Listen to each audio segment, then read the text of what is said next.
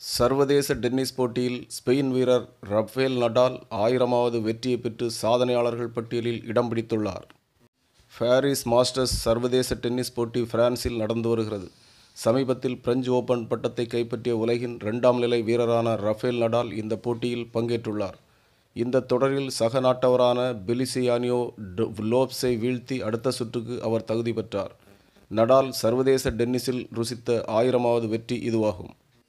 இரண்டாயிரத்தி இரண்டாம் ஆண்டு முதலாவது வெற்றியை பெற்ற ரஃபேல் நடால் பதினெட்டு ஆண்டுகளில் இந்த மைல்கல்லை எட்டியிருக்கிறார். இதுவரை ஆயிரத்தி இருநூற்றி ஒரு ஆட்டங்களில் ஆடியுள்ள நடால் அதில் எண்பத்தாறு பட்டங்களும் ஆயிரம் வெற்றிகளும் இருநூற்றி ஒரு தோல்விகளும் கண்டுள்ளார். இந்த சாதனை பட்டியலில் முதல் மூன்று இடங்களில் அமெரிக்காவின் ஜிம்மி கார்னோஸ் சுவிட்சர்லாந்தின் ரோஜர் பெடரர் அமெரிக்காவின் இவான் லெண்டிஸ் ஆகியோர் உள்ளனர்.